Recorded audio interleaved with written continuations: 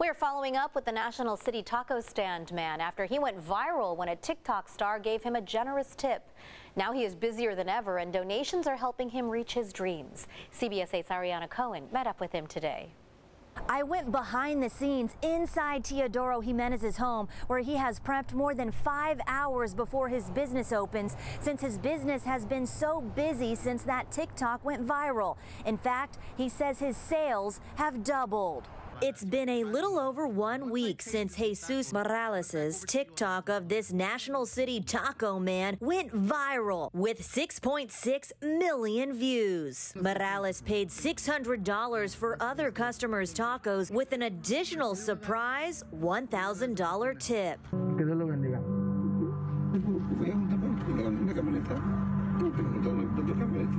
Now, Jimenez and his wife have to prep all the ingredients at their home kitchen hours before Blue Fire Bliss is open for business. Right now, it's, it's, it's, it's, it's double and double and double uh, my, my, my, my, business. And I have a lot of, a lot of customers come to uh, check my, my, my tacos and try my, my tacos. He says he sees anywhere between 250 to 300 customers per day, often selling out before they close. And if you're unable to donate, please just share the GoFundMe because it does help out a lot.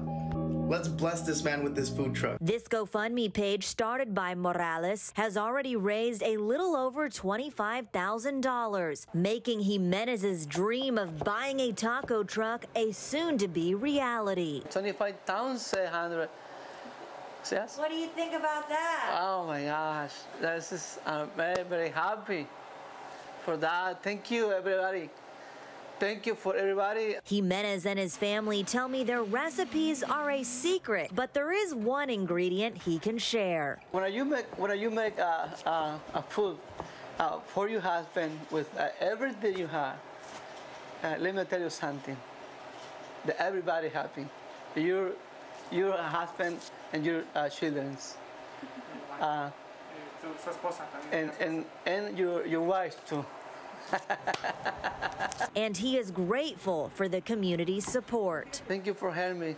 Everybody, thank you, thank you. And I appreciate it. Everybody appreciate it. Thank you so much. Ariana Cohen, CBS 8.